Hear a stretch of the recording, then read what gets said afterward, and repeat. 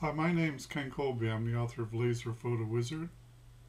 As you know, Laser Photo Wizard started out as a means of taking images and making them, uh, preparing them for engraving.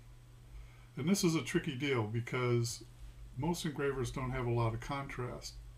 So in order to or, uh, convert the image to black and white and still retain contrast, we have numerous settings that uh, makes that easy for every situation. So Laser Photo Wizard got very good at, at engraving photos and I decided one of the things that we could add is maybe to create boxes. So I came up with this concept called generators. And generators is uh, kind of what it sounds like. It generates input for a laser engraver. We uh, in the past we, versions we had a box generator and a birdhouse generator.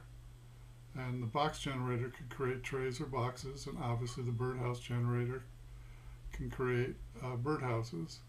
In fact, it creates three different styles of birdhouses, uh, which was kind of a fun project to learn all about different birdhouses. But anyways, today's talk's about connected the connected text generator.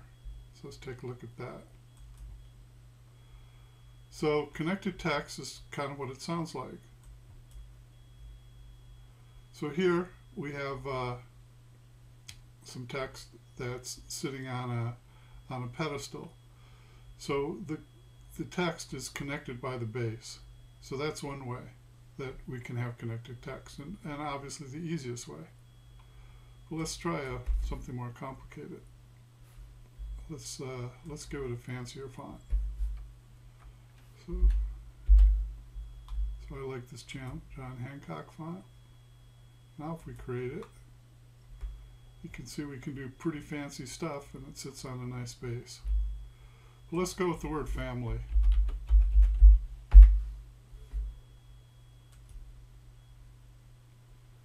Now you see because it has a Y, the base, we need a little more base. And also let's let's change this to F-A-M-I-L-Y-B-A-S-E, family with base. So we'll make the base about maybe 35% of it. Let's see. Yeah, that looks nice. So now we have uh, a nice font with a nice name. and everything's connected. But look at here, the, the I is missing. Or it's not connected to anything. It's going to fall off when, after we engrave this. So we can just live with that.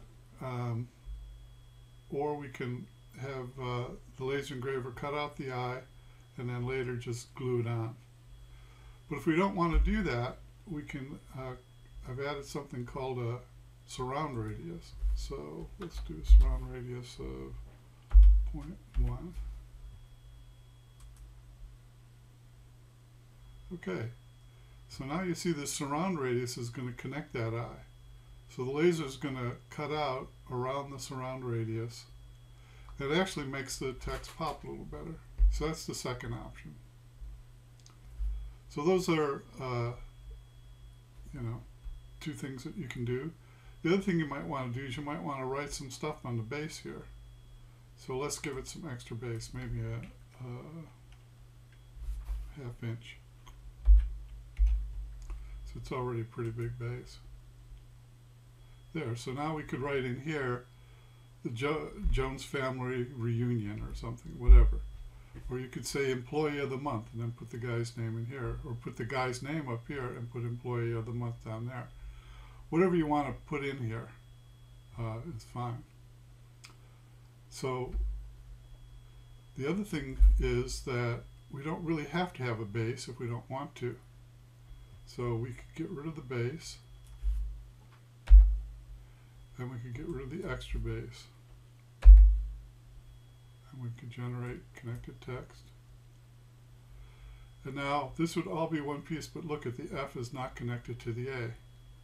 So to fix that, we'll just give just a little bit more. There. So now this is like the third option where you can have the fully connected uh, text with no base. So depending on the font and uh, and the um, text that you use, you're going to have different settings to make it look nice. Now in the past you had hire a graphics artist to make connective text. But this is dog simple and how it works. So let's go back. We're going to backtrack a little bit. Let's go back to point one and give extra base of point 0.5 Just because this is the uh,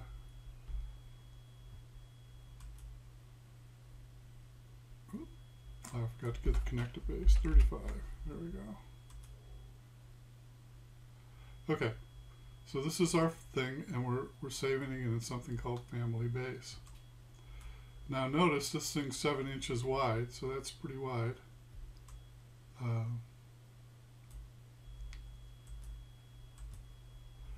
now you can go to Setup, Utilities, and you could edit image sizes, and you could add an image size to hold your font. And I've already done this, so we don't have to fool with it. I've made a really long 4 inch by 20 inch someplace here. Here we go. Horizontal output. Okay, so now when you actually want to engrave what the generator made, you go to Effects, Text and Images, and add an image. Load. And let's go to Documents green screen wizard. It's going to put it in connected text output and family base. So the first one we just load. Okay. Then we add a second image. You can see it's all black. And we're going to use this as vectors. Okay. Takes a while to compute.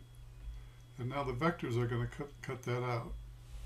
So the reason I did the one with the base is now normally you'd just be done and you'd go and and uh, uh, you, you go and just send it to the laser. But in this case, we, we put the base out so that we could add some text. So let's add some text. Family.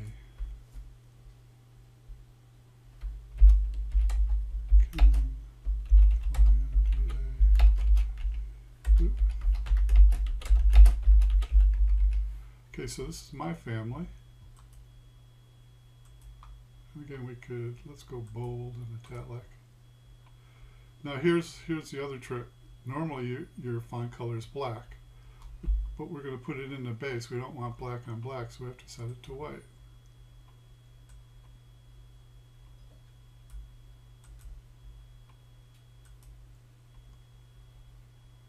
Okay, we drag it in and we see it's just a little bit too big. Now I'm using the right uh, I'm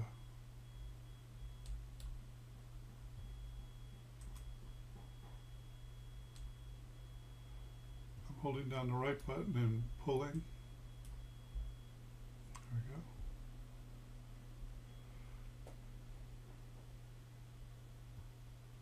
So there you go. You know, I might have been a little weird about this guy. If you hold down the right button and, and drag up and down, you can uh, scale the text and move it around. So there you go. And now you can just either save it or you could uh, and output it, you know, through photo or uh, Corel Draw, or you can send it to a laser if you have a printer driver. So that's the basics of doing connected text. I I've actually been doing a whole bunch of these. Uh, they seem very popular with my friends. They, they make great party favors. Um, and so hopefully it'll be a, not only a fun project, but maybe a money maker for you. Anyways, have a great day. Thanks for listening.